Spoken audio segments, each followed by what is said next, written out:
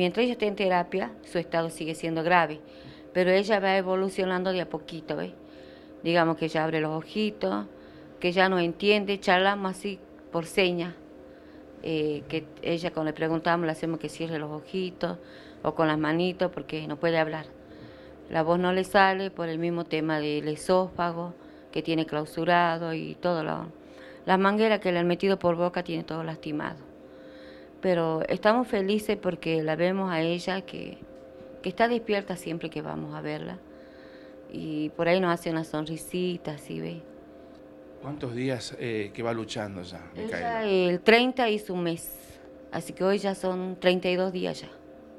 32 días que ella está internada ya.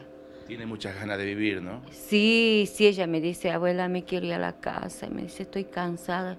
Claro, lo que ella no... Si usted la sienta, ella le ponen, para hacerle un aficio, le ponen una madera atrás. La, con gasa la atan, porque ella, su cuerpito se cae no sostiene sus manitos, ella está todo el tiempo así temblando, está muy débil, debe haber bajado como 10 kilos. Ella es flaquita, pesaba 40 y algo. Imagínense, ya debe haber bajado como 10 kilos. No, no sostiene su cuerpito todavía. ¿Quiénes le hicieron esto? Están detenidos, ¿no? Ya están detenidas, dice, sí. Sí, supuestamente están detenidas.